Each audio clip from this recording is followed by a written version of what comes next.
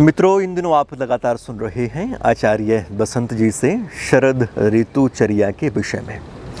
वो लगातार अनेकों तरह से इस विषय को ले रहे हैं और हमारे सामने इस ऋतु के रहस्य को प्रकट कर रहे हैं।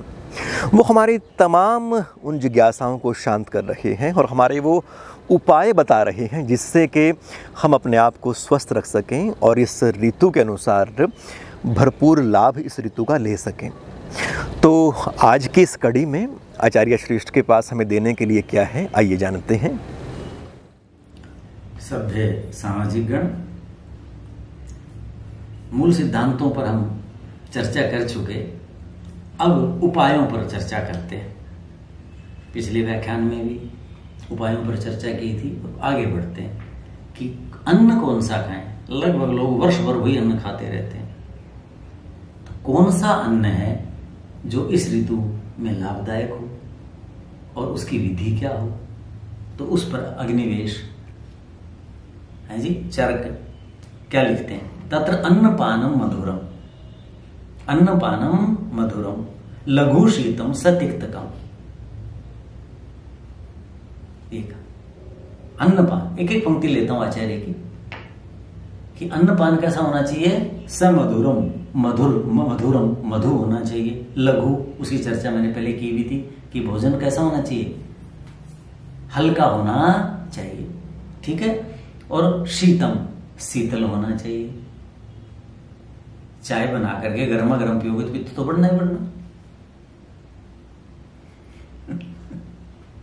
तो शीतम, शीतल। पित्त किसका नाम है? गर्मी का नाम है, अग्नि का नाम है ना? शीतल होना चाहिए, मधुर।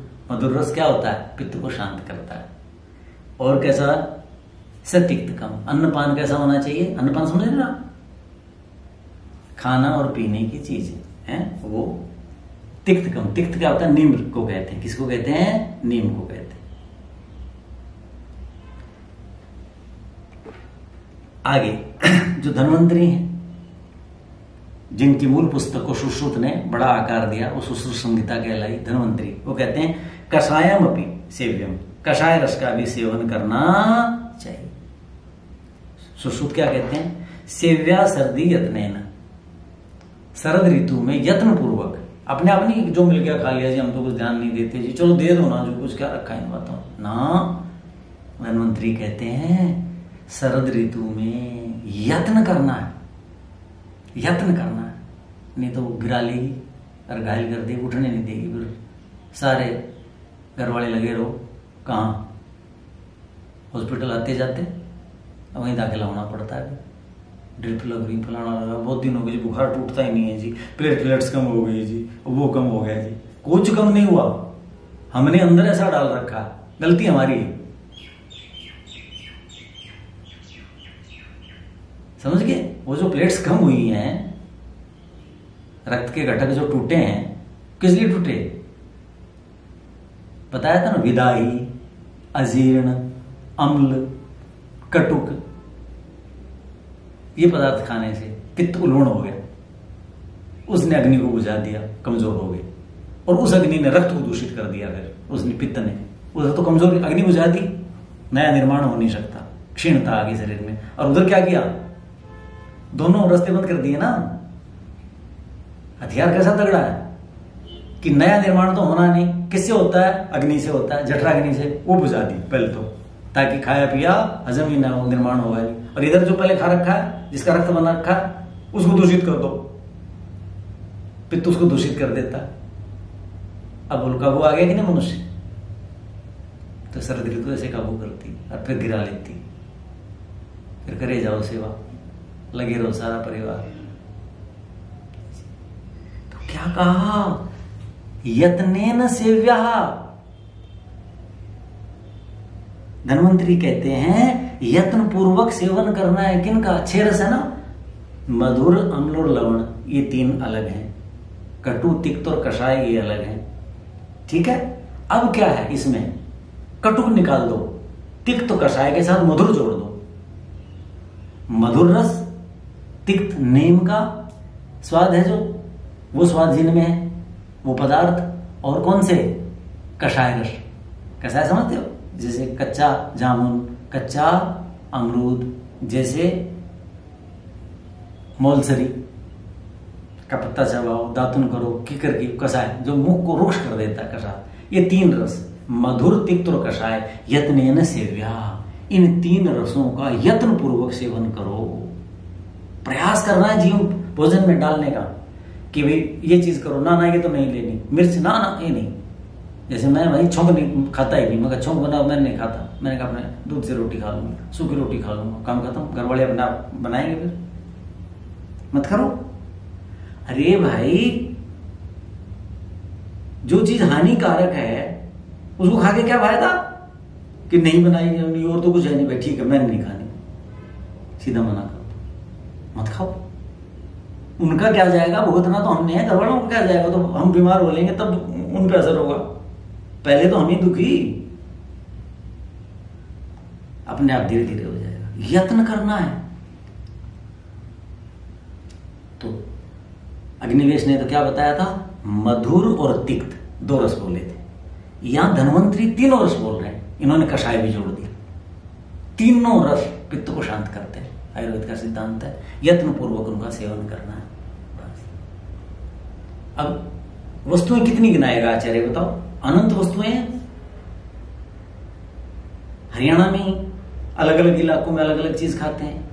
फिर उत्तरी भारत, उत्तर पश्चिमी भारत में अलग, मध्य भारत में अलग, दक्षिण भारत में अलग, पूरी दुनिया में अलग। कितनी चीज़ गिनाएँगे कि ये खाओ, ये मत खाओ? ना, रस बता दिए बस। जिन खाद्य पदार्थों में, पेय पदार्थों में ये तीन रस हैं, मधुर रस, कषाय और तिक्त रस, उनको यत्न पूर्वक सेवन करो। अपने अपने क्षेत्र में देखो, जो खा रहे हो ये ध्यान मूल सिद्धांत बता दिया। अब कोई कहे कि जी पैर में कांटे चुभते हैं, पैर में जी कंकर लग जाते हैं, ठोकर लग जाती है। वो जूता पहन लो, वो जूता पहन लो, वो जूता पहन लो किसी को जूता? पाद त्राण पैर की जो रक्षा करे, वो चीज़ पहन लो। वैसा जूता पहन लो। वो चप्पल है, जूता है, कैसा है, किसका है, किस पैर का है किसको कैसा लगता है, किसको पसीने आते हैं, किसको कम आते हैं, किसी के तलवे जलते हैं, किसी के कैसे काम है, किसका कैसा इलाका है, पाद त्राण चाहे खड़ाऊ पहनो, चाहे कपड़े के पैरो, चाहे चमड़े के पैरो, चाहे प्लास्टिक के पैरो, पाद त्राण जो पैर की रक्षा करे। एक बात कह दी, अब उसमें जूते के नाते फिर, कंपनियों का नाम, दुनिया में अनंत है, कोई हाथ से बनाता है, कोई कुछ करता है हाँ ऐसे ही आचार्य ने मूल बात कह दी भाई पित्त को शांत करने वाले छह में से तीन रस हैं। मधुर रस है, तिक्त और कषाय है। उनके सेवन में यत्न करना है ध्यान देना है। जो खाना पीना फिर खाओ। मोटी सी बात बता दी। उदाहरण देते हैं। क्षीर, इक्षु, विकृति। क्षोद्रशाली मुदगादी जांगला मोटे मोटे पदार्थों का उदाहरण देते हैं। लोग नहीं मानते मेरे जैसा कोई बैठा होगा। नहीं जी, एक दो तो बता दो दो चार तो बता दो, हमें समझ में नहीं आया क्या खाएँ क्या चल, बता देते हैं। फिर आचार्य धनवंतरी कहते हैं लोग मोटी बात बताते हैं। क्षीर, दूध, इक्षु ईख विकृति इनकी विकृति, इनसे बने पदार्थ खाओ। तो क्षीर समझ गए? दूध, घी। लोगे तो क्या होगा? पित्त का समन होगा। दही नहीं आगे आएगा विषय। दही में क्या अम्ल पैदा हो जाता है? तो दूध और घी, एक, ये क्या होगा क्षीर। दूध की विकृतियाँ, दूध से बनने वाली चीज़। आगे क्या कहा? इक्षु विकृति। ईंक से गुड़ नहीं खाना। विकृति तो है। क्या खाना है? सीता, खांड। ना सरकरा खांड। सीता, बुरा। खांड को भी शुद्ध करके उसका अम्ल निकाल दिया जाता है। वो बुरा कहलाती है, लेकिन अब बाज़ार में मिलती ही नहीं है वो। क्योंकि मेहनत कोई नहीं करता और सस्ते में बन जाती, कहते चीनी की बना देते हैं तो भाई क्या फ़ायदा फिर तो। विष पहले चीनी विष उसको और करके क्या करेंगे? लेकिन कभी कोई बना दे, कहीं मिल जाए या लोग प्रयास करें तो सिद्धांत तो रहना चाहिए ना। तो क्या कहा? खांड, बोलो, बूरा या मिश्री। मिश्री भी कौन सी? चीनी की बनी हुई नहीं होनी चाहिए। ठीक हो गया? तो वो जो मधुर रस है, आगे बात समझ में? दूध, घी और मधुर रस। कौन से? जिसमें अम्ल नहीं है, जैसे गुड़ है, शक्कर है, चीनी, इनमें अम्ल होता है। ये नहीं फिर क्या? क्षुद्र, शहद। शहद क्या होता है? कसाय, अनुरसम। शहद का व्याख्यान। कुछ लोग कहते हैं जी, शहद का व्याख्यान डालो, लिख रखा था एक दो ने। उन्होंने देखा नहीं। शहद का व्याख्यान तो हो चुकी है बहुत पहले एक डेढ़ साल पहले। हाँ। तो शहद क्या है? मधुर तो होता है, लेकिन कषाय अनुरसम शहद खाने के बाद कसाय रस आता है बाद में, खाते के बाद। अब देखो, आप मीठा खाओ, खंड खाओ, गुड़ खाओ मुँह में खा लिया, फिर भी मुँह में मिठास रहता है और तरलता, स्निग्धता बनी रहती है। और शहद खाने के बाद मिठास भी नहीं रहती और मुख रुक्ष रुक्ष हो जाता है। खा के देखो, शुद्ध शहद की पहचान बता रहा हूँ। यदि मिलावट है तो आपको बाद में मिठास आएगा और वो तरलता बनी रहेगी। और शुद्ध शहद है तो मुख रूखा सा हो जाएगा। कि शहद खाया था नहीं तो मुख रूखा सा ही हो गया? क्यों? कषाय रस है उसमें। तो कषाय रस है तो क्या करेगा? अब बोलो, खांड से, बूरा से और मिश्री से उत्तम है शहद। क्यों? मधुरस भी है इसमें और कसाय रस भी है। उसमें कसाय रस नहीं है, उन दोनों, उन मीठों में। तो ये इस ऋतु में इसका सेवन करो। वर्षा में बताया ही था कि कषाय रस का सेवन करना है। क्यों? जल अम्ल विपाकी हो जाता है, जल कच्चा हो जाता है। तो ये कहा। धनवंतरी कहते हैं कि भाई, उसका साली दान वर्षा ऋतु में भी था, उसका सेवन कर सकते हो। मुद, मूंग वर्षा ऋतु में बताए थे। मूंग में कषाय रस है और मूंग जल्दी पचता बहुत जल्दी, सुपाच्य है। छोले नहीं खाने इस ऋतु में और वो भी तल करके, वो भी मिर्च डाल करके। मसाले डाल के खाते रहते हैं ना ऐसे देखा होगा सड़कों पे। वो खाएँगे तो फिर भाई। ऐसे लोग कौन है? चिकित्सकों के मित्र हैं। और चिकित्सक का शत्रु कौन है? हित भूख मित भूख जो हितकारी चीज़ खाता है, यानी इस ऋतु में जो हमारा हित करे मित भूख वो भी कम मात्रा में खाएगा। वो चिकित्सक का शत्रु। क्यों? ऐसे सारे हो गए तो चिकित्सक तो भूखे मारेंगे। अगली बार से तो मेडिकल कॉलेज बंद। क्यों? पहले जो बैठे उनको रोटी नहीं मिलती, कोई बीमार तो होता नहीं। बंद करो इनको ले जाओ। बंद सारे। तो भाई, जिन्होंने परोपकार करना है, कल्याण करना है, चिकित्सकों का, चिकित्सा जगत का, है जी, फिर वो अपना खा लो, कोई बात नहीं। बीमार भी हो गए, मर भी गए तो नया जन्म मिल जाएगा। अगली बार देख लेगा। और क्या करें? वही जाओ डेंगू, वही जाओ प्लेट्स कम। क्या चिंता है? मैंने तो परोपकार करना। परोपकार के लिए लोग अपने शरीर की हानि कर ही लेते हैं ना। तो ऐसा समझ लो, ऐसी है बुद्धि है तो ये भी अच्छी बात। है आगे क्या लिखा है? अग्निवेश, चरक संहिता, चरक में लिख चरक लिखते हैं, सयव गोधूमान, सेव्यान आहु घनाते उसी की पंक्ति बता रहा हूँ जो पहले वाली का अगला भाग है, बीच में इसलिए दूसरा डाल दिया था कि एक ही श्लोक है, लेकिन यहाँ थोड़ा सा अलग हो गया था। वहाँ क्या कहा था? मधुर, लघु, शीत और तिक्त, अन्नपान होना चाहिए। और उसमें आगे क्या कहते हैं? शालीन। तो ये चरक, सुश्रुत वाले में बता ही दिया मैंने। अब क्या कहते हैं? सब यह गोधूमान। चरक और बात जोड़ते हैं। जो और गेहूँ खाना चाहिए। अन्नपान कैसा होना चाहिए? जो और गेहूँ से युक्त होना चाहिए। जो कितना लोग खाते हैं। करनाल में तीन, साढ़े तीन लाख की आबादी होगी। चार भी हो सकती है। मेरे कहने से कुछ पाँच, सात लोग खाते होंगे, नहीं तो कोई नहीं खाता। जिसको कुछ पता ही नहीं कहेंगे, जो खाओ जो को खाने की चीज़ ये कौन खाए कैसे? क्यों? दिखता है, रुखा सुना नहीं उनको ये नहीं पता, ये तो अमृत है। ये तो अमृत है।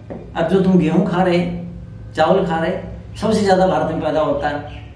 सबसे ज़्यादा उर्वरक कीटनाशक डलता सरकार उसको खरीदती है। इसलिए सबसे ज़्यादा पैदा करते हैं। जो तो बहुत कम लोग पैदा करते हैं। किसी भूखे इलाके में किसी ने पैदा कर दिया, वो बिकेगा, नहीं बिकेगा, वो क्यों खर्च करेगा उसमें? खाद डालने के लिए नहीं करेगा। जो मेरा चिंतन है। तो मुझे लगता है कि जो में कम उर्वरक कीटनाशक डलता होगा, नहीं भी डलता होगा, उससे बच गए। और ये तो मिद्य है। जो को क्या कहा है? मिद्य कहा है। ये जी में प्रयोग होता है इसका। और मैंने बताया, जो की विशेषता क्या है? हमारी जो रक्त वाहिनियाँ हैं, हृदय से जो जुड़ी हुई हैं, उनके लिए ये बहुत उत्तम है। इसके अंदर घुलनशील फाइबर होता है, रेशा होता है। किसके अंदर? जो के अंदर। तो घुलनशील होगा तो रक्त में घुल जाएगा। रक्त जहाँ जाएगा, वहाँ जाएगा। सफ़ाई करता जाएगा कि नहीं करता जाएगा? ये विशेषता है। ये कषाय रस होता है इसके अंदर। किसके अंदर? मधुर रस होता है, गेहूँ की अपेक्षा कम होता है। लेकिन कषाय रस है इसके अंदर। किसके अंदर? जो के अंदर। तो मधुर और कषाय होने से इस ऋतु के लिए उत्तम है और शीतल होता है। गेहूँ से शीतल होता है ये। कौन जो। तो देखो, शीतलता का गुण है। शीतलता क्या करेगी? गर्मी को शांत करेगी।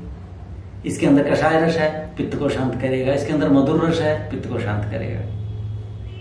समझ गए कि नहीं? तो मैं जो आचार्य ने जो बातें लिखी हुई होती है ना, मैं उनको फिर सिद्धांतों पर कसता हूँ। आचार्य तो नहीं लिखा ये चीज़ जो मैं बता रहा हूँ विस्तार से। कि भाई आचार्य ने क्यों लिखा होगा? तो इसलिए मैं हमेशा कहता हूँ, पहले सिद्धांत समझ लो। जिसने सिद्धांत समझ लिए, उसके बाद और कुछ समझने की ज़रूरत नहीं, फिर अपने आप सारी गुत्थियाँ सुलझती जाएँगी। तो ये कहा गोधूम गेहूँ का सेवन करो। ठीक है कि नहीं? मैं ये कहता हूँ भाई चना भी खाना चाहिए। चना कशैला बहुत होता है और शीतल भी होता है। थोड़ा दुष्पाच्य होता है कम डाल लो। बीस प्रतिशत पंद्रह प्रतिशत दस प्रतिशत डाल लो। हाँ, भोजन में। मैं तो अपनी मेरी दोपहर के भोजन की जो रोटियाँ होती हैं जो चने की होती हैं मैं तो वो खाता हूँ। ऐसे ना करो। घी भी खाता हूँ मैं उसके साथ क्योंकि दोनों रुक्ष हैं वायु कर देंगे नहीं तो, तो अपना घी खाओ। सब यूँ कहेंगे, जी, इतना महँगा, भाई, इतना महँगा। अरे, भले लोगों, तुम दुनिया भर में इतना खर्च कर रहे, कारों पे खर्च कर रहे, पेट्रोल पे खर्च कर रहे, मकानों पे खर्च कर रहे, मोबाइल पे, वाहनों पे खर्च कर रहे शरीर पे खर्च करो। पैदल चलो थोड़ा सा, वाहन, सस्ता सा ले लो। मकान में ये इधर इधर, उधर कुछ लगाते हो, कम कर लो, कपड़े, वस्त्र, आभूषण, क्या कर रहे इतना अनंत खर्च? और फिर बीमार होते फिर रहे। उससे ज़्यादा पैसा कहाँ दे देंगे? चिकित्सा में? महँगा नहीं है ये बहुत सस्ता है। कुल मिला के हिसाब करोगे तो। अब वो हिसाब करना किसी को आए तब तो। तो ये चीज़ है। क्या करना चाहिए, समझ गए? शाली तो हो गया था, जो और गेहूँ, ये भी खाने चाहिए। कब?